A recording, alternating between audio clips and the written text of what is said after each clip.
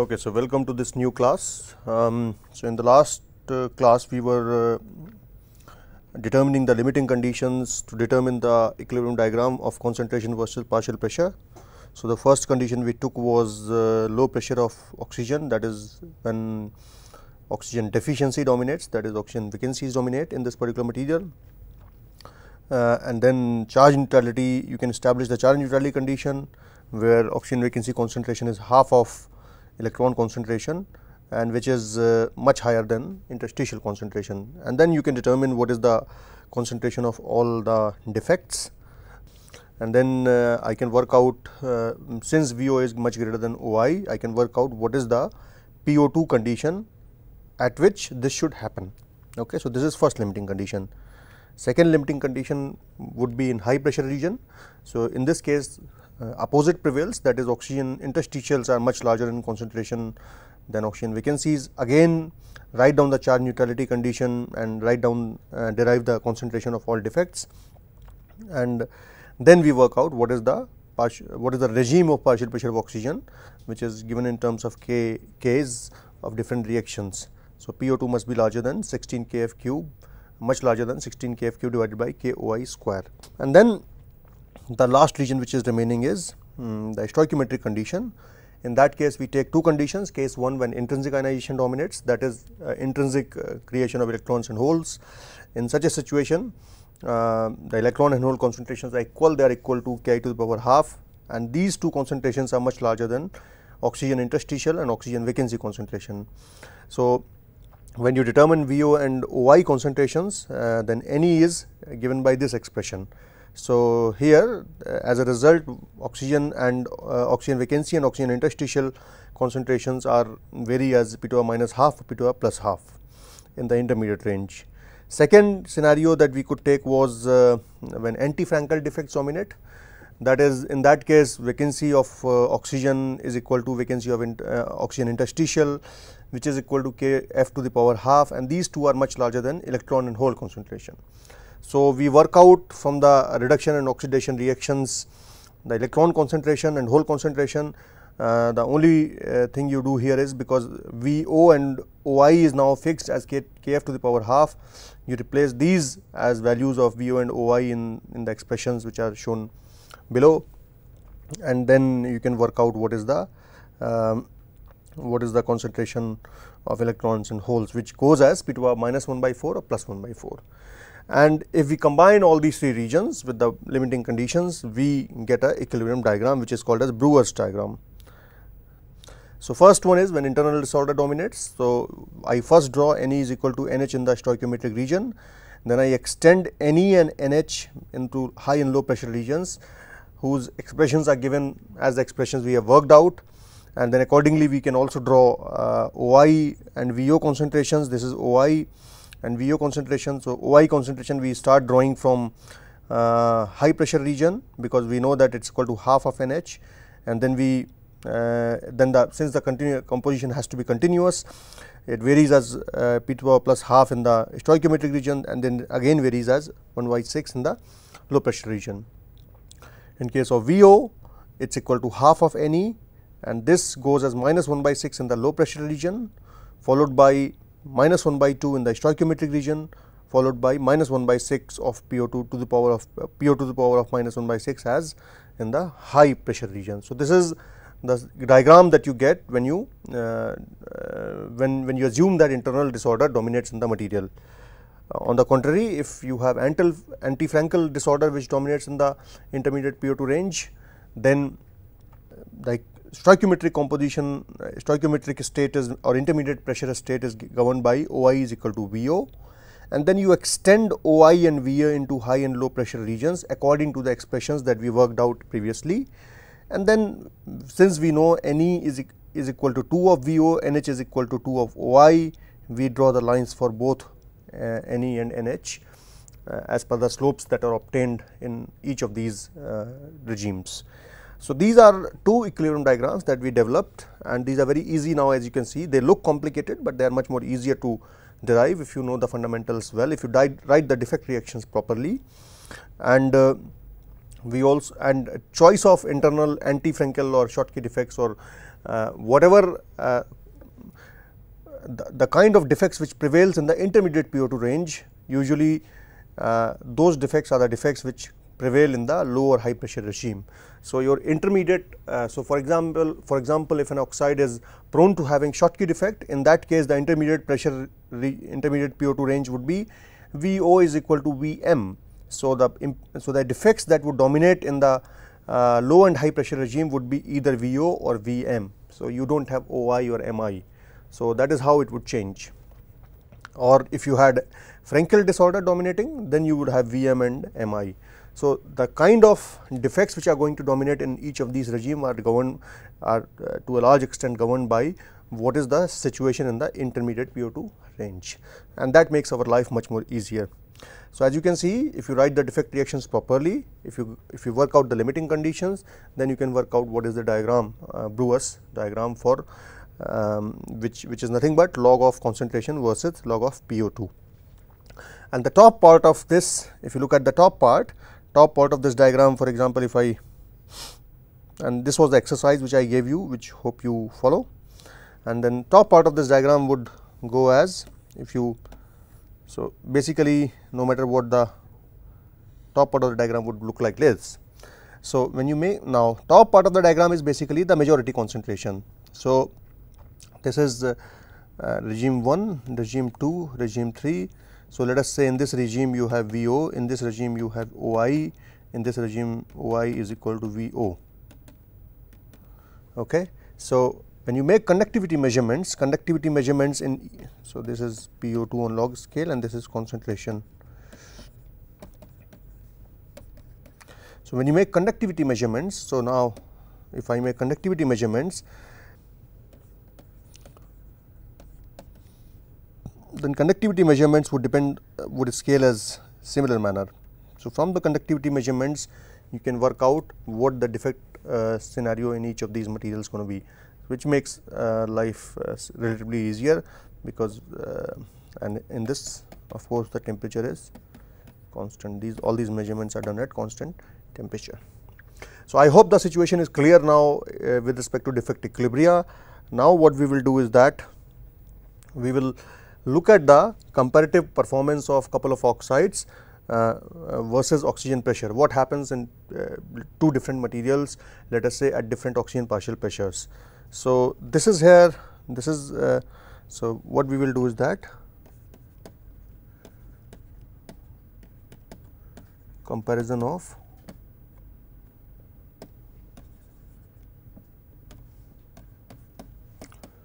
two oxides. Okay. So, we will take uh, MgO and Ti O2. So, first we will take the case of MgO. Okay. Now, MgO if it is uh, pure form then intrinsic defects are uh, as we know we have talked about Schottky defects. So, MgO is prone to most of the closed packed materials are prone to having Schottky defects which means Vmg and Vo. These are two dominating defects. Okay. So, what would be the defect reaction under oxidizing conditions?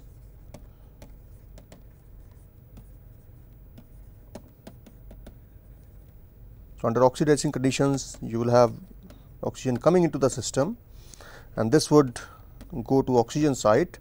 Now, you have created one oxygen site compensate for that you will have one magnesium site which would be vacant and that will give rise to two holes. So, this would be the defect reaction and K for such a reaction would be K ox let us say this would be Vmg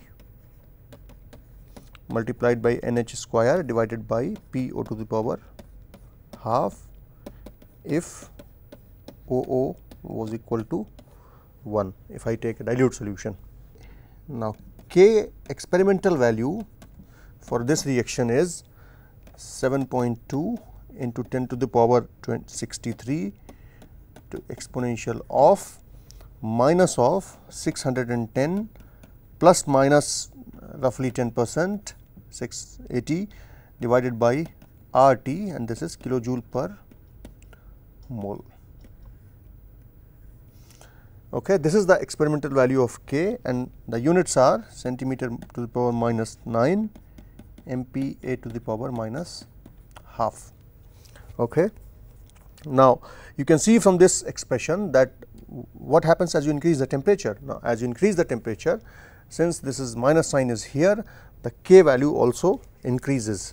As a result what it means is that that MgO can be oxidized at higher temperatures which means producing more and more intrinsic magnesium uh, vacancies and holes if no other defects were present if no other extrinsic defects were present. So, from the electrical neutrality condition you can write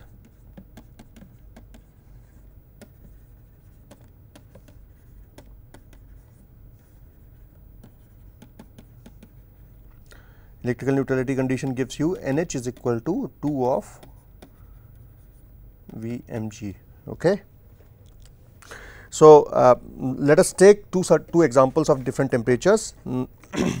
so, let us I mean even though in, in reality even though the concentrations are very small, but they still vary as a function of partial pressure of oxygen as well as temperature. So, for example, we take melting point of Tm of MgO is about 2480 degree 2480 Kelvin.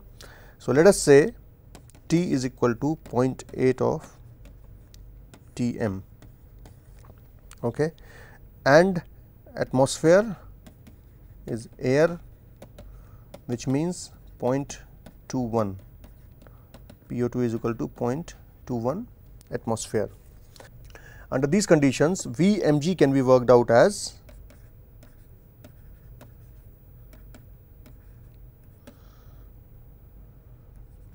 2.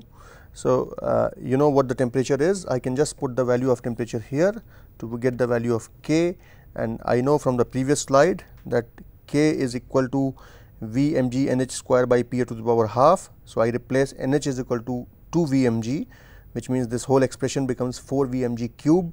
So, 4 V mg cube will be equal to PO to the power half multiplied by K ox and K ox is experimentally determined as a function of temperature. So, when you make these substitutions, so, so Vmg would be your, so I write, write 4 Vmg cube is equal to K ox multiplied by PO to the power half,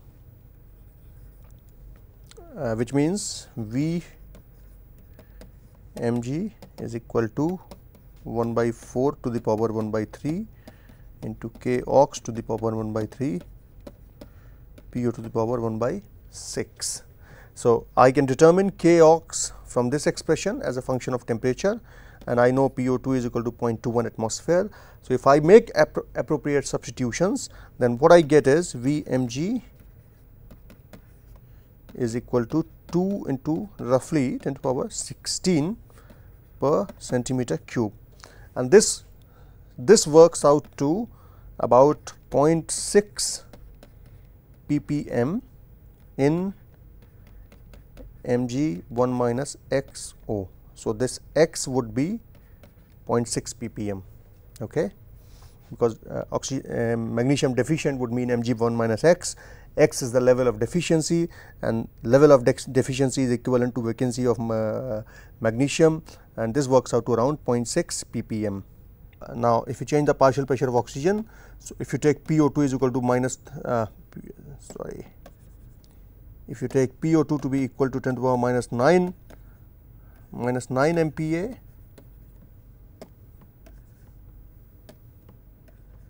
in such a situation again you you you, re, you recalculate and this gives to Vmg concentration of about 2 into 10 to power 15 centimeter per centimeter cube. this is equivalent to 0.04 ppm in mg 1 minus xo. So, if you compare these two values in previous case we got 0 0.6 ppm and now we have got 0.04 ppm. So, by reducing the partial pressure of oxygen by about 9 orders of magnitude um, we, we get only a difference of an order of magnitude uh, in the magnesium vacancy concentration. Uh, so, this is about magnesium oxide. So, here we see that when you change the pressure for example, at a fixed temperature of 0.8 of melting point, you do not see an appreciable change in the concentration of magnesium vacancies. On the other hand, if you take example of TiO2,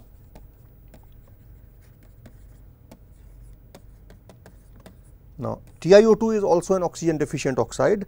So, it is very prone to non-stoichiometry. So, uh, the, uh, in this case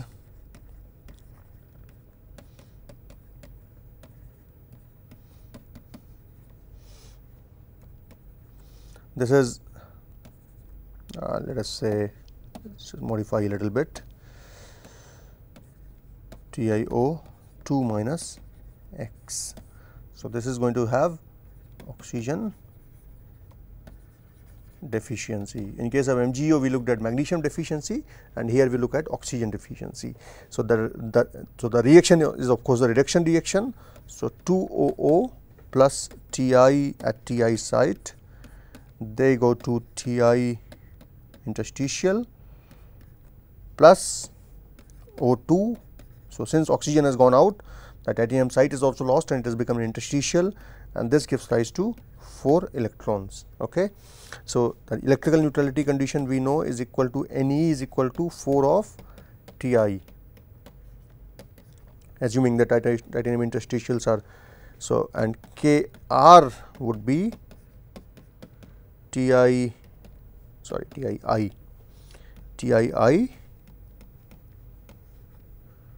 multiplied by Ne4 into PO2 and if you make this to be equal to so this becomes uh, 256 Ti i to the power 5 multiplied by PO2 okay? So so Ti i concentration becomes Kr divided by 256 to the power 1 by 5 into Pu to the power minus 1 by 5. Let me have a just look. Yes, minus 1 by 5. So, this would be your Ti concentration. Now, I know that Kr experimentally is determined as 6.55 multiplied by 10 to the power 22 into exponential of minus 960 kilojoule per mole divided by R T and this has a unit of MPa centimeter inverse. So, now again I take T is equal to 0.8 of Tm and which is nothing but about 1690 Kelvin in titanium oxide. So, I work out so, if you put the value this value of temperature you can work out what is T, uh, what is K r and P O 2 let us say. Um, so, let us say in air P O 2 is 0.21 atmosphere. So, if you work out T i now, so make sure you put the right units in every place because units are very important and uh, what you get here is uh, 1.4 into 10 to the power 18 per centimeter cube. So, first of all if you compare the magnitude with respect to uh, magnesium, in case of magnesium we got around 10 to the power 16 uh, uh, centi per centimeter cube at atmospheric pressure and here you have two orders of magnitude high. So, even at room even at atmospheric pressure at the same uh, temperature uh, that is 0.8 of melting point uh, titanium oxide has much more uh, two orders of magnitude higher defect concentration in comparison to MgO and this works out to roughly 93 ppm in TiO2 minus x. So, this x is 93 ppm. Now, if you take PO2 is roughly 10 to the minus 9 megapascal same pressure uh, as in case of MgO and again at 0.8 of Tm, then you work out what is k, k experimental will give you the value of k at 0.8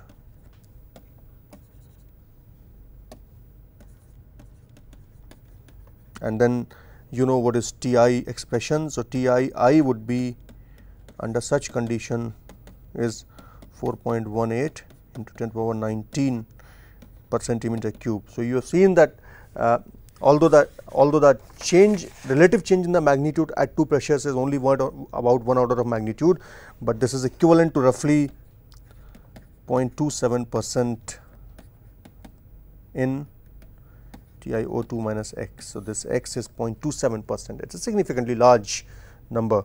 Uh, so, because of this uh, reasonable uh, because of this large change uh, large difference in the defect concentrations of two oxides that we have taken TiO2 makes a excellent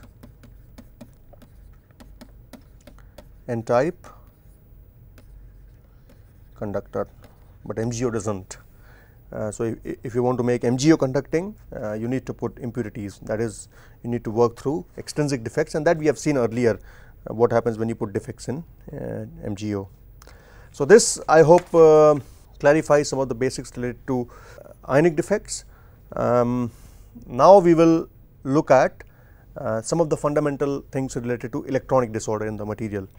We have talked in very brief about electronic disorder and just by writing a defect reaction.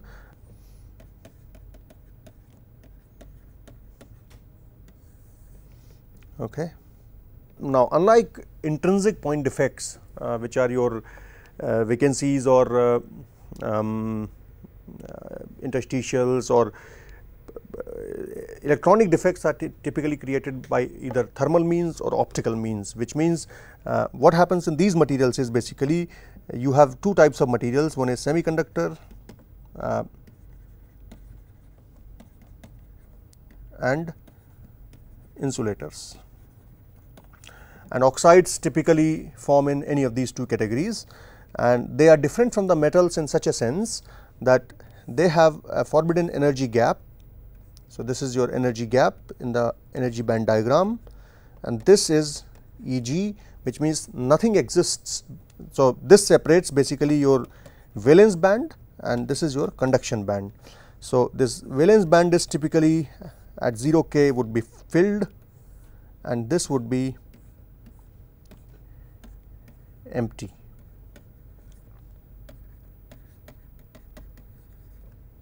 Okay. So, any conduction which has to take place in these materials having uh, a particular band gap. So, this this E g value of E g would be would be about typically uh, below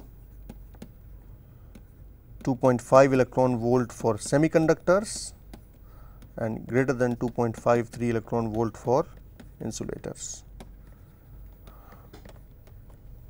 So, any if, if these guys have to conduct any electricity or any charge conduction has to take place, the electrons from the valence band which is here they have to be excited across this energy gap to, to go there and as a result it gives rise to a hole. Now, this can this process which means the process which has to occur here it can be thermal process or an optical process because you need to supply an energy which is at least equal to or higher than E g. So, that is where uh, so that is why these these defects are little bit different in terms of uh, so basically you can consider this energy band gap as an energy which is equivalent to your defect formation energy in terms of intrinsic point defects. In terms of intrinsic point defects, if you look at the statistical model, then in, in order to create certain number of defects, you need to overcome the energy barrier of defect formation energy that is delta HF. Now, here you need to overcome Eg in order to create electron hole pair or to create electronic disorder or electronic defects. So, defect density as a result is nothing but number of electrons or holes in the material and you can express in terms of per centimeter cube. And another another thing that is uh, uh, of interest in these materials is something called as Fermi energy. And this Fermi energy for intrinsic semiconductors sits at the middle of the band gap. And once the semiconductor or insulator starts becoming extrinsic which means you start putting in defect then this Fermi level moves up or down. So, if you want to if you make it n type the Fermi level will, will move up for n type. And for uh, for p type it will move closer to valence band and when you start putting in impurities then you also introduce something called as donor or acceptor levels. So, this would be your acceptor level which means it will accept electrons from the valence band giving rise to large hole density in the valence band and this will donate its extra electron. So, this, this is typically for example, in, in silicon if you take in silicon your aluminum would be an acceptor because aluminum is plus 3 atom. So, it would attract an electron it will it will receive an electron from the valence band give, creating a hole in the valence band. So, uh, the, so this is an acceptor level which and this difference in the energy is very small it is it's of the order of few milli electron volts which can be easily which can easily happen at room temperature. Similarly, this level will be called as donor level. So, I can write this as E d, I can write this as E a and again this uh, energy difference E c minus E d is very small is of the order of few milli electrons volts. So, that all the excess electrons from donors for example, P 5 plus phosphorus. So, electrons from the donor impurities can be excited into the uh, conduction band uh, without spending any extra energy at room temperature and this gives rise to large density of conduction electrons in the conduction band. So, and the Fermi energy is an energy. Uh, so, you know what Fermi energy is. So, when you plot for example, um, so this is let us say E f, this is E versus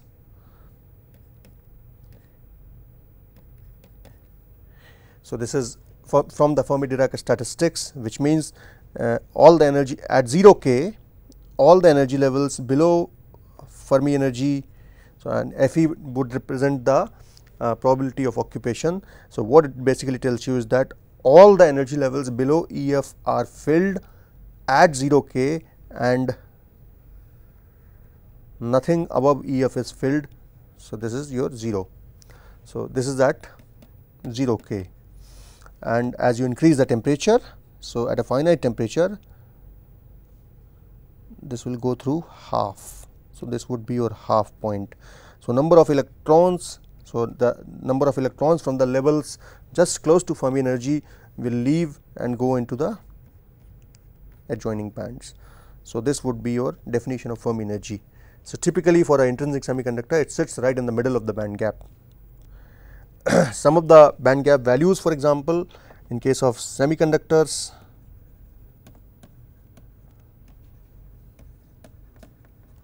your silicon has about 1.1 electron volt, germanium has 0.7 electron volt uh, and in case of uh, oxides for example, zinc oxide has about 3.2 electron volt, magnesium oxide has 7.8 electron volt, uh, nickel oxide has roughly 4.2 electron volt, iron oxide is close to 2.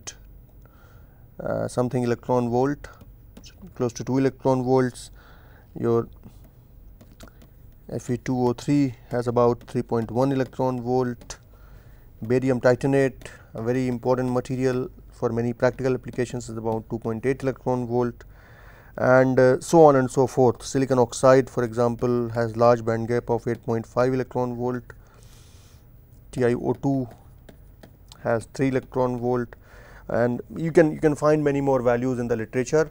Uh, so, these are some some of the band gap values. So, typically higher the band gap is less conducting the material is in the intrinsic state okay unless you create defects from some other means.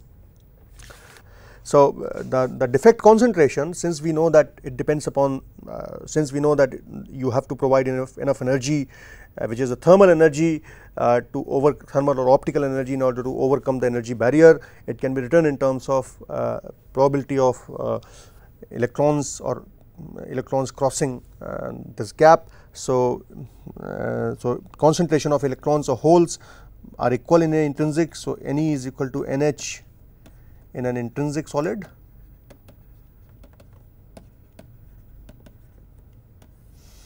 and this is given as Ne is equal to Nc exponential of minus of EC minus EF divided by KT and you know what EC and EF is. So, this is your EC conduction band edge the bottom of conduction band and EV is top of valence band. Okay. So, NC where NC is the effective conduction band density of states.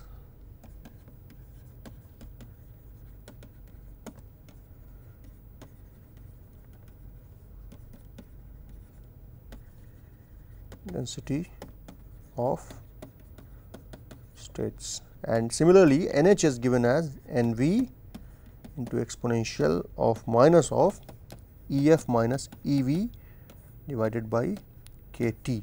So, basically you can see that E now for intrinsic semiconductor EC minus EF would be equal to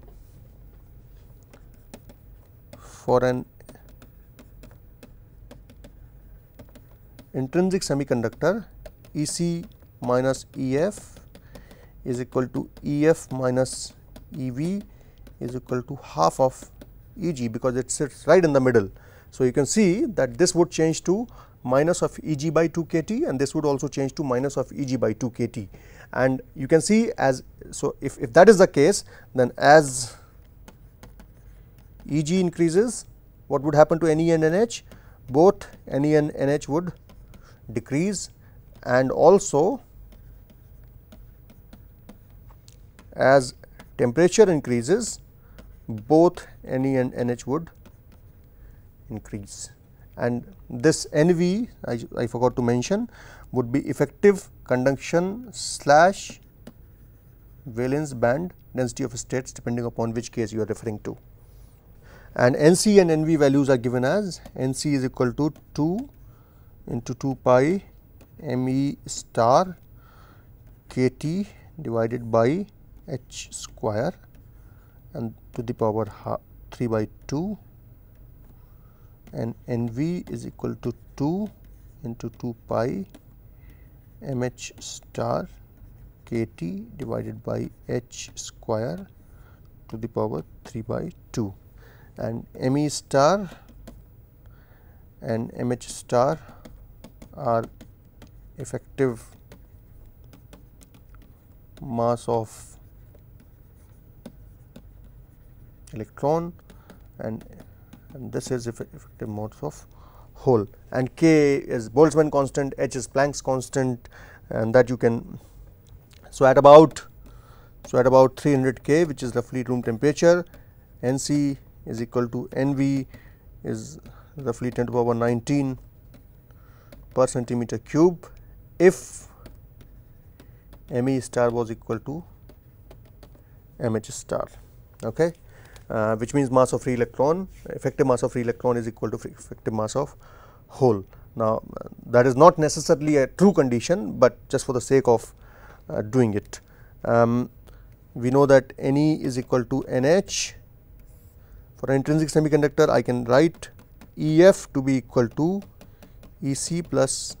So, if you make any and NH equal to what it becomes is that E c plus E v by 2 plus 3 by 4 k t ln m e sorry m h star divided by m e star and this E c plus E v by 2 is nothing but E g by 2.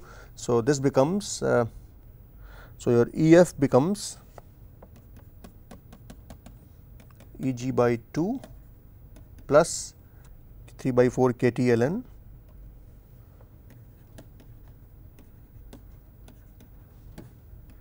m e m h star divided by m e star. So, if this was equal to 1 then E f was equal to E g by 2 for an intrinsic semiconductor. This is what we assumed uh, to begin with. So, but typically in oxides your effective masses are are about 2 to 10 times of Me or uh, effective mass of free electron let us say Me naught which is the free electron mass. Okay. And uh, uh, you know that uh, atomic density of solids is roughly 10 to power 23 per centimeter cube. So, density of states is about 4 and 4 to 5 uh, orders of magnitude lower than in semiconductors. So, uh, this gives you an idea about uh, the density of states value in semi in the oxides. Now, if Me and Mh were equal, then you can write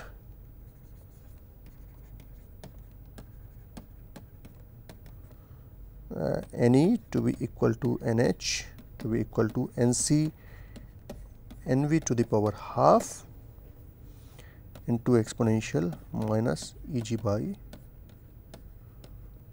2 kT. Okay. Now, this expression is very similar to what you see for defect concentration. For defects,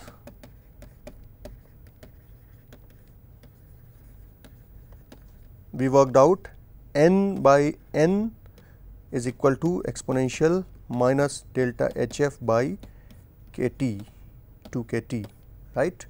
So, in case of Frenkel defects. So, you can see the relation here you need to overcome uh, energy of delta H f in order to create the defects here you need to create an uh, overcome an energy of E g in order to create electronic defects. So, it is very very similar these expressions are very similar because the fundamental concepts are sim similar you need certain energy in order to overcome an energy barrier to create the defects. Okay.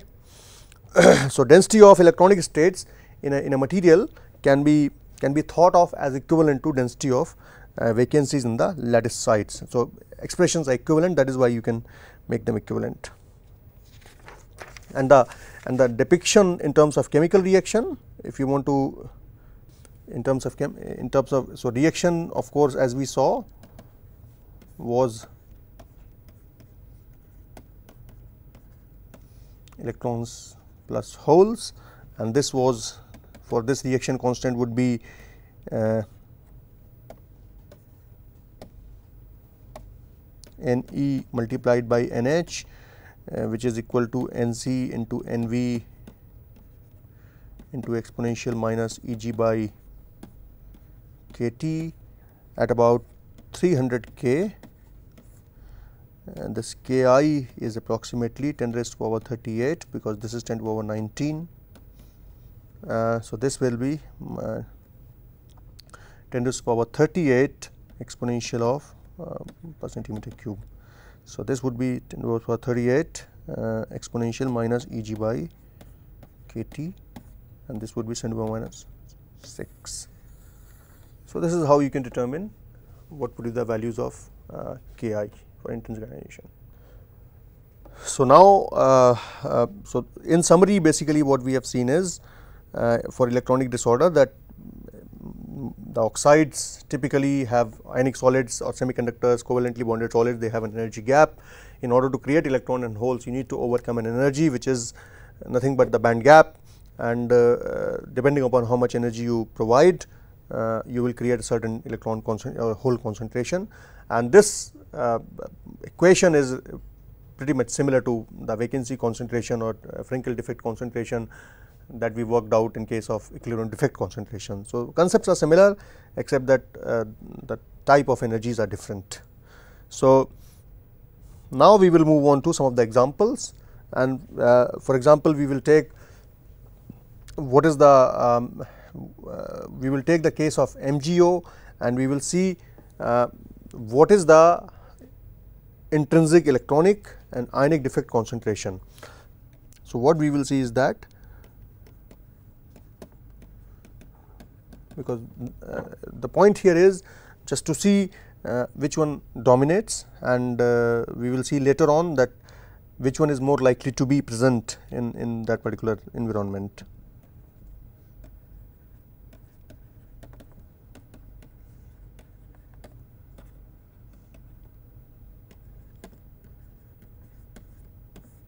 So, this is an example. Okay. So, consider so MgO as we know has Schottky defects. And the defect formation energy delta Hs is about 7.7 electron volt. Since we since they have Schottky defects it, it is 7.7 electron volt. And the band gap Eg is about 7.7 what we saw earlier uh, is about 7.8 electron volt and this band gap changes uh, as you as, as, as you as you increase uh, temperature of MgO. So, this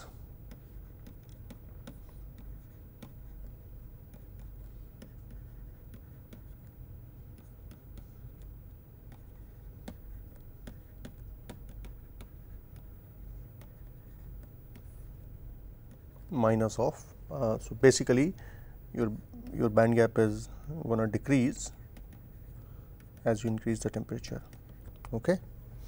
So, the question is now in a completely pure and stoichiometric magnesium oxide which defects are likely to be created and uh, or who which defects are going to be going to dominate is it ionic or electronic. So, let us say temperature so let us say temperature is equal to about 1400 degree centigrade and that is 1673 Kelvin. So, we can write the defect. Uh, so, intrinsic defects are VO and VMG. So, concentration of VO is equal to concentration of VMG and this is equal to nothing but your Ks this is a Schottky defect Schottky defect reaction to the power half and this is nothing but equal to exponential of uh, we, we, are taking it in this in mole fraction. So, exponential of minus delta H s by 2 k T and if you put in the value of delta H s and at this temperature this comes out to about 2.5 multiplied by 10 to the power minus 12 mole fraction. Okay. Now, how do you calculate the electron and hole concentration? Just use the formalism that we have used earlier. So,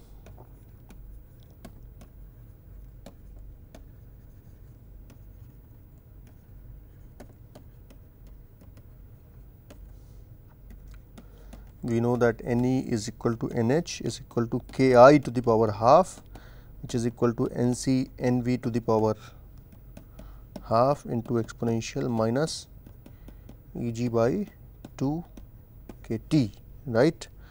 And this would be given as 2 into kT to the power 2 pi h square into me star into mh star to the power 3 by 4 to exponential minus Eg by 2 kT. So, what I have done is if you go to previous slides N, NC and NV were equal to yeah. So, what I have done is basically replace the value of NC and NV in, in those expressions. So, this is how it becomes and uh, in MgO we know that Me star is equal to 0.38 of M naught or Me, Me naught and mh star is equal to 0.77 me naught. Typically, effective mass of hole is much more higher as compared to effective mass of electron and what we find is um, an me naught is equal to nothing but this particular thing is 9.1 into 10 to the minus 31 kg. So, at, at the temperature of interest which is at 1673 Kelvin uh, you know that the band gap also changes. So, you need to work out what is the Eg. So, Eg will be equal to 7 point uh, how much was it. So, we have taken 7.8 7.8 minus the difference of 1673 uh, with respect to uh, so that that value was given as at uh, so basically delta T at 1673 minus room temperature multiplied by d by dt okay? And this would be this would come out to approximately 6.2 electron volt. And this would give you Ne is equal to NH is equal to if you replace the value of temperature here take the Boltzmann constant take the Planck's constant Me and MH naught, we know what is Eg and if you do that you get about 4 into 10 to the power 10 per centimeter cube. So, now if you compare these two concentrations here it is 4 into 10 to the power 10 centimeter cube and in the previous case it was 10 to the power minus 12 mole fraction. So, the question now here is how to convert it to uh, per centimeter cube. So, Vmg conversion into per centimeter cube. So, basically 2 into 10 to the minus 12 mole fraction multiplied by you will have to multiply it by density of MgO in grams per cc multiplied by Na which is Avogadro number which is number per mole. And this has to be divided by molecular weight of MgO which is gram per mole. So, if you do that this is 2.5 into 10 to the power minus 12 multiplied by density is 3.58 multiplied by Na 6.023 into 10 to the power 23 divided by molecular weight of MgO is about 40.3 and this would come out to around 1.4 into 10 to the power 11 per centimeter cube. So, if you compare these two magnitudes now here you get 4 into 10 to the power 10 and here you get 1.4 into 10 to the power 11. So, at, at, at 1400 degree centigrade if you compare these two energies now if you if you look at the previous energies the energy at that particular temperature the defect formation energy 7.7 electron volt and uh, the band gap is about 6.2 electron volt. So, there is a difference of 1.5 electron volt, but still the defect concentration in MgO is uh, Schottky defects concentration is much larger is, is an order of magnitude about larger as compared to electronic concentration. So, you can see that uh, at, at a particular given temperature which defects will dominate using this kind of analysis. So, uh, another thing that you would like to see is the role of uh, impurities, role of donors or acceptors.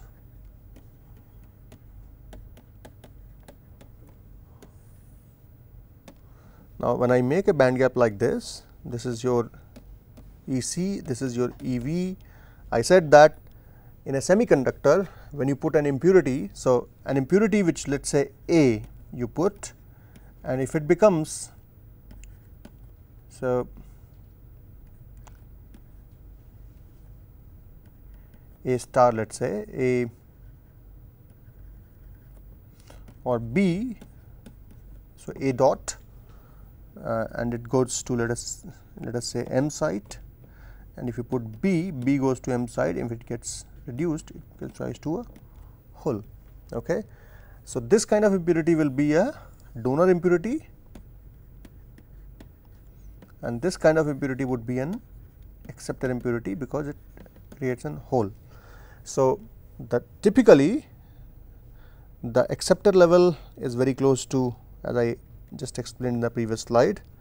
This is your E A and this is your E D and the E V minus E D or E A minus E c are equivalent to or smaller than k t. So, basically of the order of few MEVs in a typical semiconductor. Okay. Now, in case of for example, um, in case of oxides, if you form oxygen vacancies for example, OO goes out it gives rise to half O2 which goes out gives rise to oxygen vacancy gives rise to 2 electrons. So, here formation of oxygen vacancy has given rise to 2 electrons which means oxygen vacancy acts as a donor impurity. So, that this would be in an oxide for example, oxygen vacancy and acceptor would be your for example, metal vacancy. So, if you have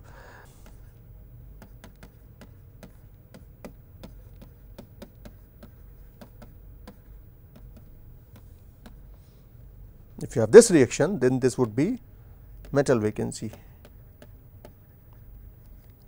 Similarly, your oxygen interstitial would go at this site.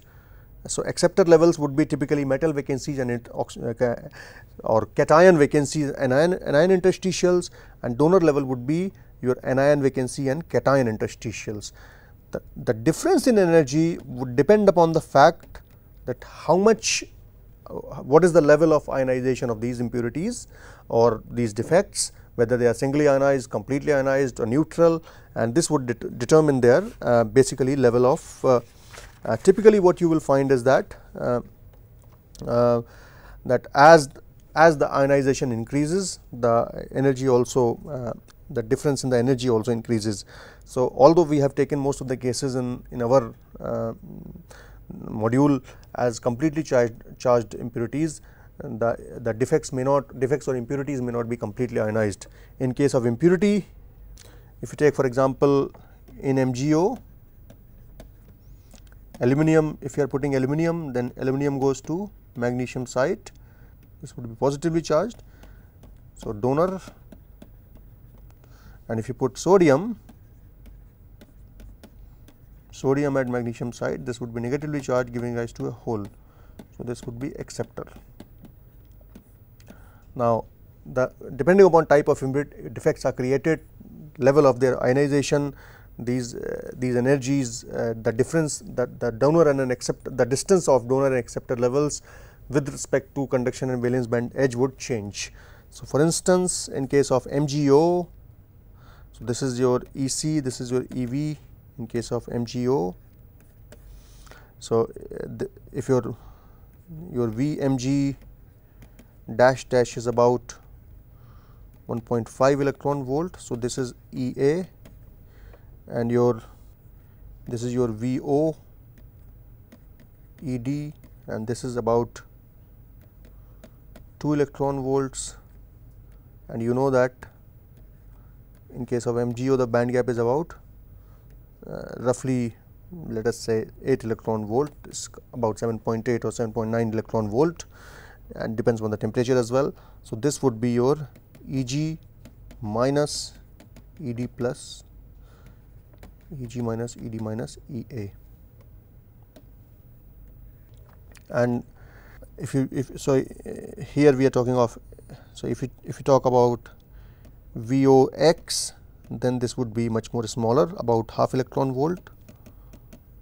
Uh, if you take singly ionized magnesium vacancy this would be roughly 0.5 electron volt.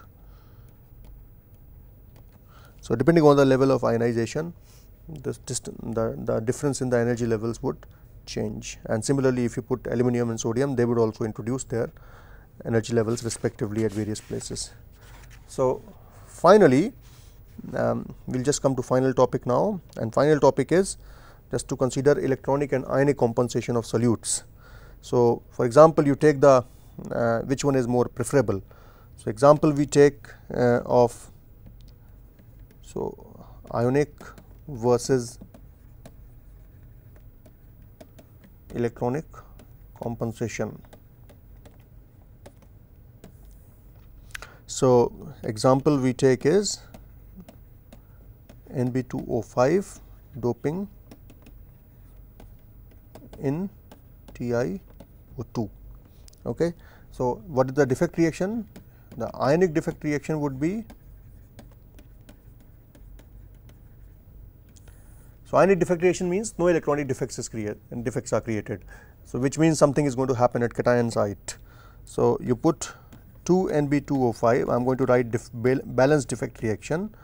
So, all those 4 niobiums go to titanium site which means and niobium is plus 5, titanium is plus 4. So, it is going to carry one positive charge plus all the oxygens go to oxygen site.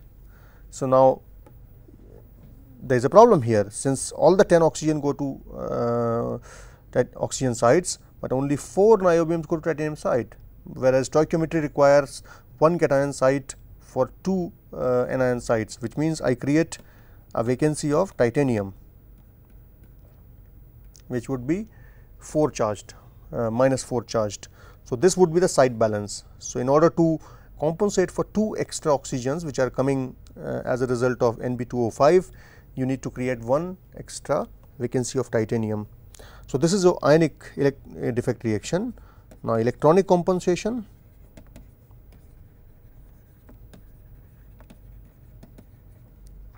So, I can again write 2 Nb2O5 again all the 4 niobiums are going to titanium sites oops so mistake here plus 8 OO X plus O2 which means for 4 titanium sites I take in only 8 oxygens rest of the oxygens go out, but now I have to balance the charge. So, which means I have to create 4 electrons. So, this is a so let us say this is reaction 1 and this is reaction 2. So, if I now subtract the reaction 2 from reaction 1 then what I get is NB2 NB2O5 cancel each other and NBTI NBTI will cancel each other what I will have is O2 plus 4 E. So, 1 minus 2 gives rise to O2 plus 4 E 2 OOX plus V T I.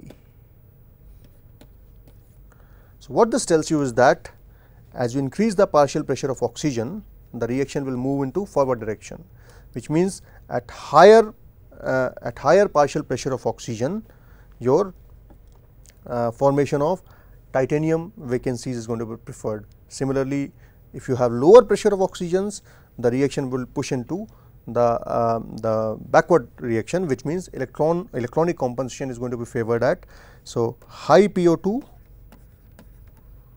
you have ionic compensation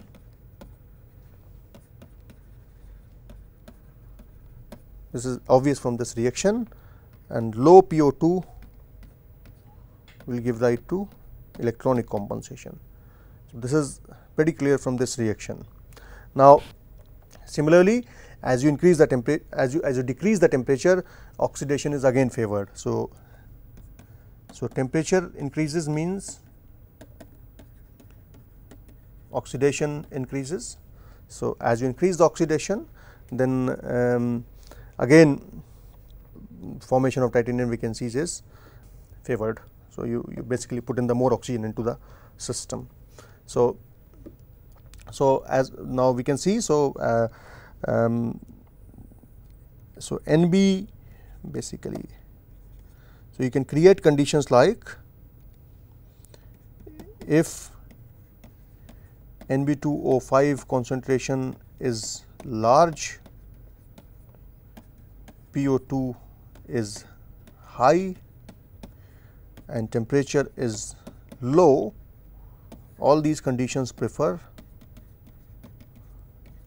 ionic compensation. And converse is true uh, in case of electronic compensation. In any case, you have to follow the electrical neutrality condition. The electrical neutrality condition would be NBTI 4 VTI plus uh, hang on just a second let me just see the, what the reactions are. So, I have here NBTI is equal to electron NBT, VTI is equal to 4 of NBTI. So, NBTI is equal to so NBTI is equal to 4 of VTI right. So, I will have so NBTI will be equal to 4 of VTI plus NE because you have 4 times. So, in case of ionic composition it is 4 times the vacancy concentration, in case of electronic composition it is equal. Okay.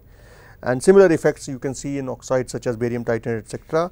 I can give you a home question uh, to work out for example, you can do the same exercise for material like uh, titanium oxide. So, homework can be do the same for TiO2 and for this you can refer the books which I have subscribed in the bibliography uh, related to Similarly, same is true about uh, uh, calcium oxide doping in zirconium oxide. Again, you can have electronic compensation or the ionic compensation. So, uh, I can I will leave it to you uh, to work out the defect reactions. Um, what happens uh, when you when you dope zirconia with calcia or yttria um, by this time you should be pretty much familiar with how the defect reactions are written and uh, the one thing which I want to point out is that when you when you put all these dopants for example into the uh, Uh, host lattice they give rise to a change in the volume. So, for example, when you dope zirconium oxide so CaO in ZrO2 so the density of these materials also changes. So, at appreciable large concentration. So, when you put if cation interstitials are present it is like this, but if anion vacancy is present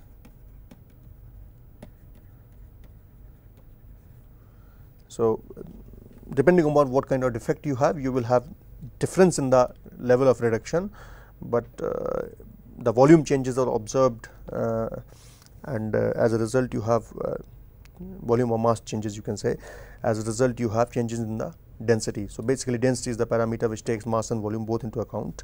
So, level of type of defect would decide the change magnitude of change, but you have a change in the density when you start doping the material. if you want to go into details of these things, you should go to the uh, case studies given in the books but uh, as you can understand. So, what we have discussed in this module is basically we have taken the defect equilibria. Uh, first of all we started with the um, defect how the defects are formed, what are the various defect reactions, how we can treat these defect reactions as chemical reactions the basis for that and then uh, and we also worked out how the equilibrium concentration of defects is calculated, what happens when you put impurities inside a particular material and then we uh, looked at the conditions uh, the, the concentrations of defects at various partial pressures of oxygen by creating the limiting conditions in high and low pressure range and created an equilibrium diagram. And finally, we took some case studies just to uh, see what kind of defects dominate in which kind of material. So, I hope this gives you a fair idea about the uh, second module which would be instrumental in going to the third module which is about now more applied in the sense that now you now we know about the defects what sort of defects are going to form what we will see in the next module is how these defects move and what sort of properties they give rise in ionic solids. Thank you thank you